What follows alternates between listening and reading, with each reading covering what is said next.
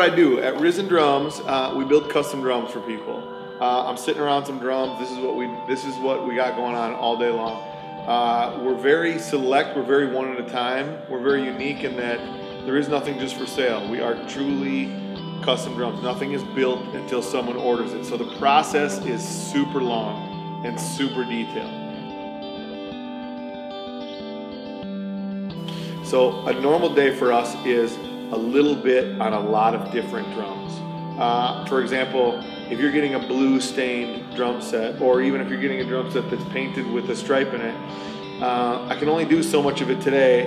If I'm painting it, I can put one more coat on it and then set it off to the side and let it dry. So maybe I got 20 minutes worth of taping it off and putting a stripe on there. Now it's got a stripe on it and that's got to sit and dry. So I'm not going to come back to it until a day or two days from now to put another coat on it, spend another 20 minutes with it, and then leave it again. So everything is is in different stages of the process, and like one day means everything just slowly moves forward a little bit more.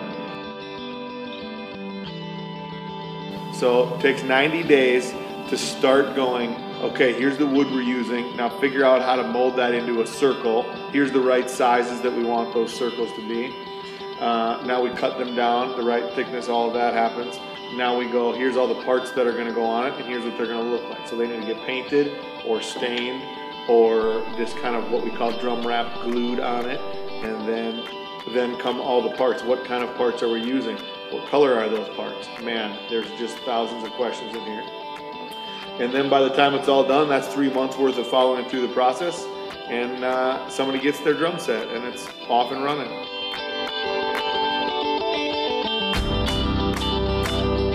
Best part about building drums is, uh, man, I think this creative aspect and the relational aspect, uh, both of those kind of intermix with each other, but every day is kind of working together to figure out what we're going to do, how we're going to do this thing. That's what gives us life is there is no just stamp it out and do the next one. Maybe it's the best part and the greatest part at the same time because you have these creative ideas that are awesome and then you got to go to the guy that's actually paying for it and, and make sure that they like it.